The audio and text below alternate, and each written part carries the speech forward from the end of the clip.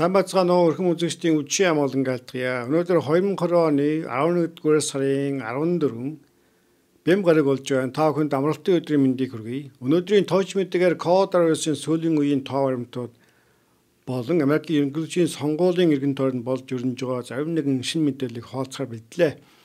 Мэдээний төсгөлд мөн Монгол болон бусад улс орноос Америкийн цагаачлалын визтэй хүмүүс Америкийн хэлээр орж иж болох хэсэг тухай ийм асуултууд түгээмэл ирж байгаа учраас энэ асуултандаас товч хариулт өгөхийг зорьсон байна. За өнөөдрийн байдлаар Америк нэгдсэн улсад COVID-19 нийт тохиолдол 10 сая 826 мянга хүрсэн.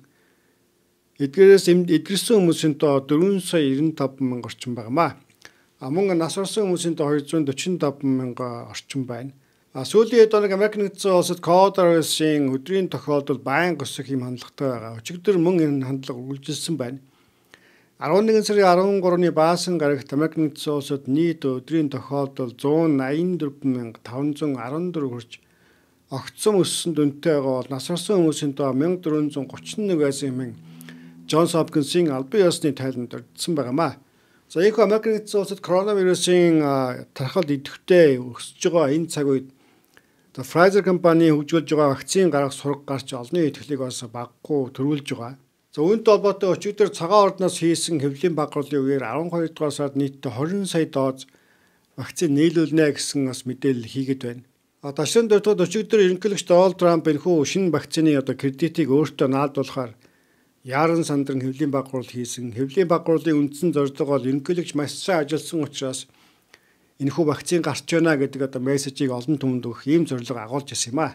Гэвч харамсалтай нь энэхүү вакциныг хөгжүүлж байгаа Pfizer компани албан ёсны мэдээлэлд тус компани энэхүү вакцины нь Америкийн засгийн газраас хэрэгжүүлж байгаа Operation Warp Speed гэдэг одоо хөтөлбөрт хамааралгүй тухайн хөтөлбөрөөс ямар нэгэн санхүүжилт аваагүй гэдэг ийм мэдээлэл одоо хийгээд байгаа. Хэдийгээр тус компани вакцины хөгжүүлэх ажлыг одоо Трампын оролцоогүй буюу цагаан ордны дэмжлэггүй хийж байгаа боловч харин вакциныг үйлдвэрлэх маш богино хугацаанд олон сая хүн төргөх эцсийн хэрэглэгчдэд хүргэх Энэ нүсэр ажилд яг харахгүй засгийн газрын дэмжлэгтэй буюу Operation Warp Speed гэдэг хөтөлбөрийн хүрээнд хамтран ажиллах нь тодорхой болоод байгаамаа. За ийхүү өчигдөр хэвлийн багруулалд оролцсон нь ерөнхийлөгч Дональд Трамп сонгуул ялагдсанаас хойш анх удаа хэвлийн өмнө дахин гарч ирсэн үйл явдал болсон. За вакцины мэдрийн сажуугаар мөн сонгуулийн ялагдлаа хүлээн зөвшөөрч магадгүй ийм одоо өнгө аяс цохиулгсан хэвлийн багвар байсан юм а. Тухайлбал тэрээр одоо ярихдаа цаашдаа ямар засаг тогтох нь одоогоор хэлж мэдэхгүй. Үүнийг цаг хугацаа харуулнаа. Гэхдээ манай засгийн газар байгаа үед ямар ч хэсэг Америк нэгдсэн улс дээр хөл хөрөө тогтоохгүй гэсэн утгатай мэдээлэл хийгээд байгаа юм а. Ideally, we won't go to a lockdown. I will not go. This administration will not be going to a lockdown. Hopefully, the the uh, whatever happens in the future, who knows which administration will be? I guess time will tell. But uh, I can tell you this administration will not go to a lockdown. За ямар ч байсан өнөөдрийн байдлаар ерөнхийлөгч Дональд Трамп сонгуулийн үр дүн хүлээн зөвшөөрөөгүй эсэргүүцсэн хിവэрэ байгаа. Өнөөдрийн байдлаар Трампын сонгуулийн кампанид ажлын зүгээс 3-аас 4 мужид нийтдээ 21 эрх зүйн маргаан үүсгэж байгаа тухай хэвлүүдэд мэдээлж байна. За харин өчигдөр буюу баасан гарагт эдгээрийн 5 одоо шүүхийн заргыг шүүгч хэрэгсэхгүй болгосон тухай мэдээлж байгаамаа. За тиймээс өчигдрийн хувьд ерөнхийлөгч болон ерөнхийлөгчийн одоо сонгуулийн кампанид ажлын хувьд хар байсан гараг байсан тухай хэвлүүдэд мөн өгөөдөн мэдээлж байна. За өдөрхөн мэдэж байгаа өчтөр бол 13-ны баасан гараг байсан. 13-ны баасан гараг гэдэг энэхүү одоо тохиолдлыг азгүй өдрөж гэж бас итгэдэг нэрлэдэг хүмүүсээс байгаамаа. За ямар ч өчигдрийн 13-ны баасан гараг бол ерөнхийлөгч Дональд Трампын хувьд тийм сайн өдөр байсангүй.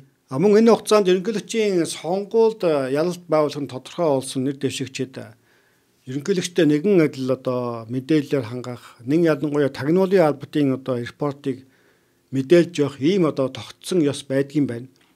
А гисэн гэдий бол Трампын засгийн газар энэхүү одоо засгийн шилжилтийг хүлээн зөвшөөрөхгүй засаг шилжих одоо процессыг эхлүүлэхгүй байгаа учраас Жо Байдны хувьд өнөөдрийн байдлаар Америкийн тагнуулын албатын мэдээллийг одоо хүргэхгүй байгаа юм байна. За үүнтэй холбоотойгоор бүгд найрамдах намын цөөнгүү гишүүд э, тогтсон ёс журмын дагуу одоо Жо Байденд тагнуулын албатын репортыг одоо хүргэж эхлэх нь зүйтэй гэсэн байр суурийг илэрхийлсэн байгаамаа.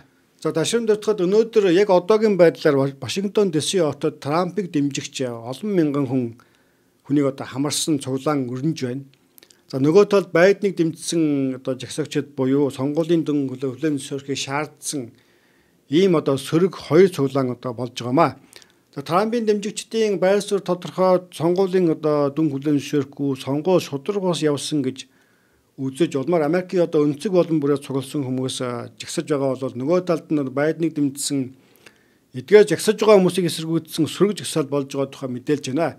Одоогийн байдлаар 5 жагсаал цуглаан болж байна. Харин цагдаагийн алба болон тагнуулын албатын зүгээс эдгээр сөрөг жагсаал жагсаалд оролцож байгаа хүмүүсийн одоо хооронд мөргөлдөөн гарахаас сэргийлэн ажиллаж байгаа тухай бас мэдээлсэн байгаамаа.